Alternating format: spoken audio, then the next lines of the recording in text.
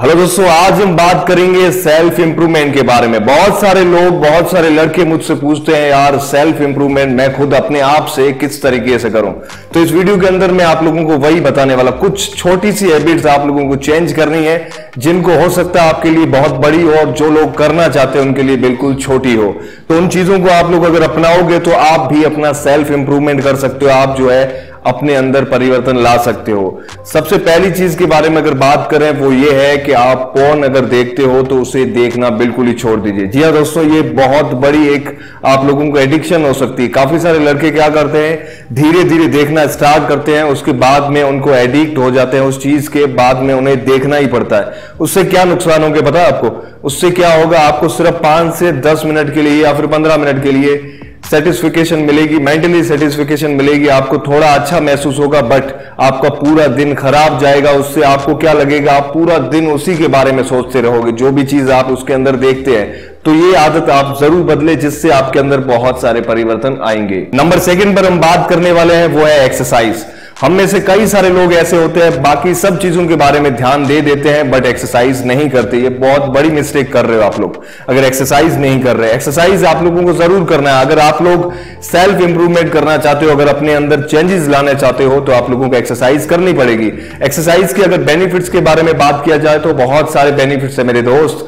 क्या बताऊँ, जितने बताऊँ, उतने कम एक्सरसाइज के बेनिफिट्स आप लोगों को डिज़ीज़ नहीं होगा, आप लोगों का ब्लड सर्कुलेशन सही रहेगा और बहुत सारी ऐसी माइनर केसेस जो बीमारियाँ होती है डिज़ीज़ होते हैं, वो तो आपके पास में भी नहीं आएँगे, अगर आप लोग एक्सरसाइज करोगे तो। आपका जो इम्यून सिस्टम है, वो भी इससे मज़बूत बनेगा एक्सरसाइज करने से तो आप लोगों को एक्सरसाइज दिन के अंदर ज़रूर करनी है। एक्सरसाइज का मतलब मेरा ये नहीं है कि आप लोग जिम के अंदर जाए, भारी भरकम वेट उठाए बट आप लोग 30 से 45 मिनट घर पर भी कोई भी हल्की फुल्की एक्सरसाइज कर सकते हैं। वॉकिंग पर जा सकते हैं, इस तरीके से अपनी बॉडी को फिट और एक्टिव रख सकते हैं तो इस आदत, इस हैबिट को भी आप लोग ज़रूर अपनाएँ। नंबर थर्ड पर मैं आप लोगों को बताने वाला हूँ, वो है रिफाइन योर गोल्स आप लोगों को गोल ज़रूर बनाना। हम से कई सारे लोग गोल नहीं बनाते मतलब कोई लक्ष्य नहीं निर्धारित करते, हमें करना क्या है। आप लोगों को लक्ष्य ज़रूर निर्धारित करना है कि हमें ये चीज़ करनी है, ये चीज़ पानी है, या फिर ये टारगेट है, हमारा इसे अचीव करना है। तो उस चीज़ को ज़रूर ध्यान रखें। उसके अंदर जितना भी आप लोगों को स्ट्रगल करना पड़े जितना भी करना पड़े रियली बता रहा हूँ आप लोगों को, उस चीज़ को अगर आप लोग अचीव कर लोगे, उस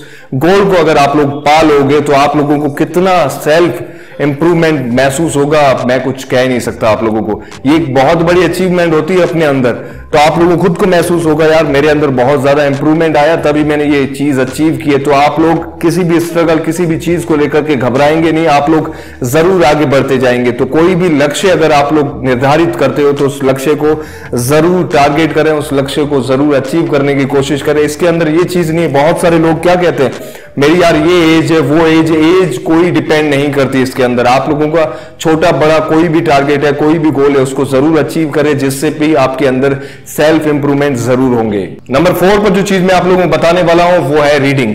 हम में से बहुत सारे लोग क्या करते हैं, पढ़ाई का अगर उन्हें कह दिया जाए ना तो उन लोगों को लगता है सर पर कोई बोझ रख दिया। बट दोस्तों, ऐसा बिल्कुल भी नहीं है। आप लोगों को रीडिंग की हैबिट ज़रूर डालनी चाहिए। आप लोगों को दिन के अंदर एक से दो घंटे ज़रूर बुक्स पढ़नी चाहिए। जिससे आप लोगों को इतने ज़बरदस्त और अमेजिंग इंप्रूवमेंट्स मिलेंगे, आप लोग खुद हैरान हो जाओगे। अगर देखा जाए तो बहुत सारे सक्सेसफुल जितने भी लोग हैं, वो लोग डेली रीडिंग करते। हैं रीडिंग करने से क्या होगा? आपकी मेंटली पावर जो है वो इंप्रूव होगी इनहेंस होगी इंक्रीज होगी। तो आप लोगों को रीडिंग ज़रूर करनी है।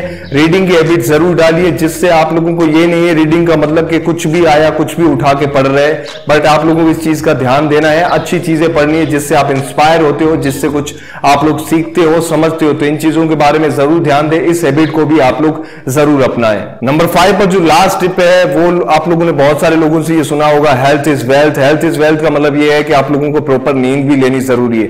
जैसा कि हम लोग गाड़ी को भगाते रहते, पूरा दिन भगाते रहते, उसे रेस्ट भी देना ज़रूरी है, जिससे इंजन ठंडा हो और गाड़ी सही तरीके से दूसरे दिन काम कर पाए। तो इसी तरीके से हमारी बॉडी भी होती है, हमारा दिमाग भी होता है। दिन पूरा उसे दौड़ाते रहेंगे दौड़ाते रहेंगे। अगर उसे रेस्ट नहीं देंगे तो हम हमारे दिमाग के अंदर या फिर हमारी बॉडी के अंदर इंप्रूवमेंट नहीं ला सकते। अगर आप लोग सही तरीके से रियली इंप्रूवमेंट लाना चाहते हो तो आप लोगों को सात से आठ घंटे नींद ज़रूर लेनी है। जिससे क्या होगा, आपकी मेंटली पावर भी इनहेंस इंक्रीज बढ़ेगी और आप लोगों को खुद को ऐसा महसूस होगा, यार, बहुत सारे चेंजेस मेरी बॉडी के अंदर आ रही है। अगर आप लोग अच्छे तरीके से नींद नहीं ले रहे हो तो आप लोगों को ये सब चीज़ें देखने को मिल सकती है। आप लोगों को ये सभी दिक्कतें हो सकती है।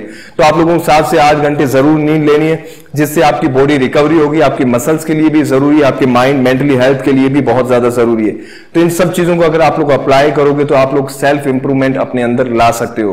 तो आई होप गाइज़ आप लोगों की वीडियो अच्छा लगा होगा। ये सभी चीज़ें अगर आप लोगों को समझ में आई है तो आप लोग इस वीडियो को लाइक शेयर एंड सब्सक्राइब इस चैनल को ज़रूर करिए। नेक्स्ट इस तरीके की वीडियोस आप लोग देख सकते हो। अगर आप लोग मेरे से बात करना चाहते हो, आप लोग कोई ऐसी समस्या है, कोई ऐसी क्वेरी है जो आप लोग मुझसे पूछना चाहते हो। दोस्तों अगर बात करें तो बहुत सारे लोग मुझे मैसेज करते रहते हैं, इस चीज़ को मैं एक्सेप्ट करता हूँ। जो कोशिश करता हूँ मैं उन लोगों के सवालों के जवाब देने की। अगर आप लोगों का कोई ऐसा ज़रूरी सवाल है तो आप लोग क्या करिए? अपनी जो इंस्टाग्राम की आईडी है, वहाँ पर जाइए, आप लोग अपनी स्टोरी के अंदर मुझे ज़रूर मेंशन करिए। जहाँ से मुझे पता पड़ेगा, यार हाँ ये बंदा मुझसे कुछ पूछना चाहता है तो मैं वहाँ पर जाके आप लोगों को जो भी सवाल है आपसे बात करने की कोशिश करूँगा। हम लोग आपस में बात करके जो भी आपका सवाल है, उसको आप लोगों को बताने की कोशिश करूँगा। तो ओके गाइज़ मिलते हैं नेक्स्ट वीडियो में। See you again love you all